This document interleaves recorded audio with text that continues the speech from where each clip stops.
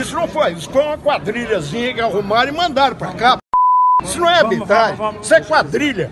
Faz favor, presidente. Tranquilos, é essa. Quando eles não deram, ah, aceitaram o Dedé, nós comentamos, eles vão, eles vão aprontar com a gente lá dentro do Mineirão. E vocês viram hoje a performance desse Uruguai.